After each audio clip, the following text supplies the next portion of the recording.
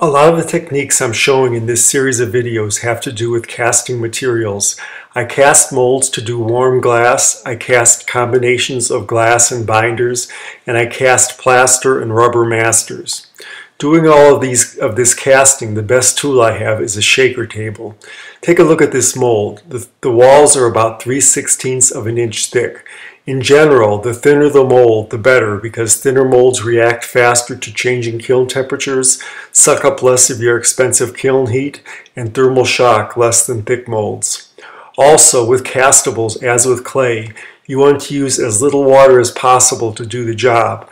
A shaker table is the only way I know to get thixotropic materials to flow into narrow spaces. Take a look at this.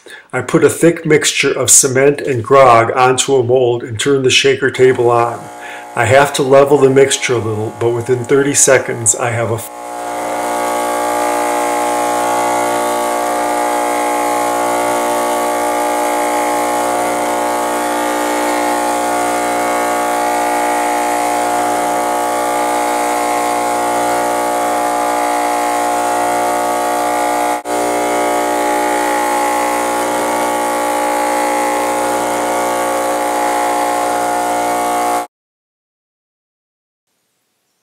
It's really easy to make a shaker table.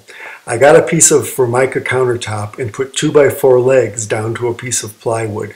At each corner I put a vibration isolator to isolate the top from the rest of the structure. You can buy vibration isolators from Amazon.com. I clamped the whole thing to a Black & Decker portable bench. Very importantly, when I clamped it down, I also shimmed it to level the top. If the top isn't level, the mixture won't end up level when it vibrates. Now here's the big part. I built two of these shaker tables. For one, I got a half horse motor from an old clothes dryer, drilled a hole in the pulley, and put a bolt and a number of nuts in the pulley to create an eccentric. That means you're creating an artificial vibration. For this one, I found a small compressor for sale cheap at a second-hand store. The compressor motor is directly attached to a piston. By bolting the motor with the piston hanging off one end to the bottom of the tabletop, I set up a really nice vibration.